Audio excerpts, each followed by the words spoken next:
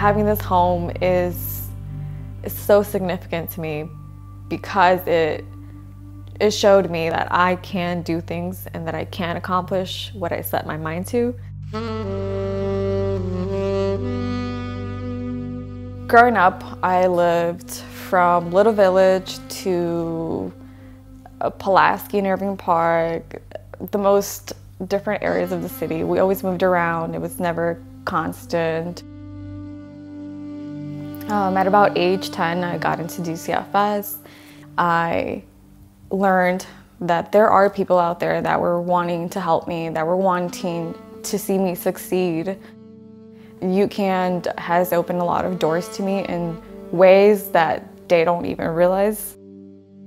UCAN just means so much. I can't even put it in words.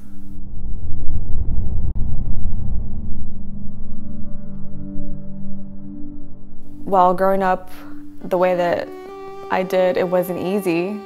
Being a homeowner at 24, I knew then and there that I have healed from some of my trauma and I just couldn't be any more excited about being a homeowner and just having a place that I can call my own. My name is Elizabet and I am a proud UCAN alum.